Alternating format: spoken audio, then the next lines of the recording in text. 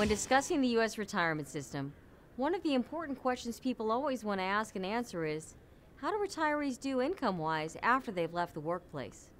Recently, ICI senior economist Pete Brady did a new analysis of this question using fresh data from the IRS. Here's what I learned about his findings.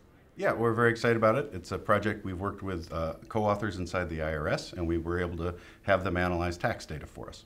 So uh, what we have is uh, uh we have individuals who were working in 1999 that were close to retirement age, close to claiming Social Security, and we are able to follow them through 2010. So we can identify the year they claim Social Security benefits. And then what we do is we look at two questions. One, what happens to their income near that time? And second, where do they get that income from?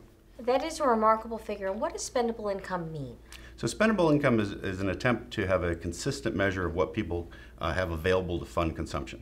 Okay, so it won't include certain things that you can't spend the money you've spent on taxes, uh, the money you put into your retirement account. It will include some things that aren't included in taxable income, however, uh, such as the portion of Social Security benefits that aren't included in your income measure would be included in spendable income because you can spend that. What was one of your key findings? Well, uh, our main finding is that three years after claiming Social Security, the median replacement rate for our uh, the people we analyzed was 103 percent. The, the, they replaced 103 percent of spendable income. It's also contains some surprising information to you in the end when you looked at it. One of the surprising thing is where people get their income from. What we found is we knew Social Security was going to be a substantial source of income, but retirement income, that is income from annuities, pensions, and IRAs, were also substantial. So for the vast majority of people, they receive substantial income from both sources. Matter of fact, 81% uh, of people that we analyzed had income from pensions, annuities, and IRAs, and another 8% had evidence that they had these such as a rollover to an IRA that didn't produce income but showed that they had an IRA.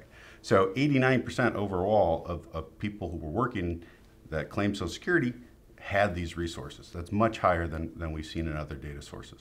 And this is really valuable because this is new information, new analysis that really has not been out there before. Yeah, so this is a new way to look at a question that people have been uh, trying to answer. There's lots of issues about reforming Social Security, reforming our uh, employer plan system, and before we go and do that, it'd be nice to know how they're performing and how they're working. We're coming at it uh, with tax data, which has many advantages. we think it's very accurate. Um, and um, we can measure what people are actually receiving that we have tax return information on.